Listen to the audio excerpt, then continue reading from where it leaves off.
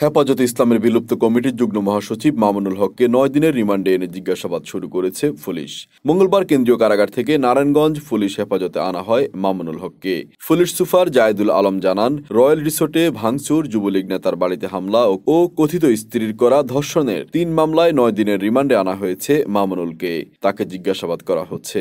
এছাড়া হেফাজতে ইসলামের ডাকা হরতালে নারায়ণগঞ্জে ঢাকা চট্টগ্রাম মহাসড়কের ভাঙচুর, অগ্নিসংযোগ ও নাশকতার ঘটনায় আরও তিনটি মামলায় আরও নয় দিনের রিমান্ড পেয়েছে সিআইডি ও পুলিশ ব্যুরো অব ইনভেস্টিগেশন। লোক সাহেবকে সোনারগাঁয়ে তিনটি মামলায় গ্রেপ্তার করা হয়েছিল। সাত চার চোদ্দ সাত চার দু হাজার একুশ, চোদ্দ চার দু হাজার একুশ এবং তিরিশ চার দু হাজার একুশ।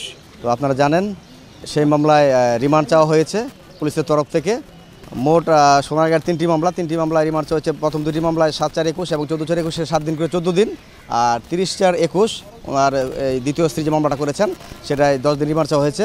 সোনারগাঁয়ের তিনটি মামলাই ওনার বিরুদ্ধে বিজ্ঞ আদালত তিন দিন করে রিমান্ড মঞ্জুর করেছেন।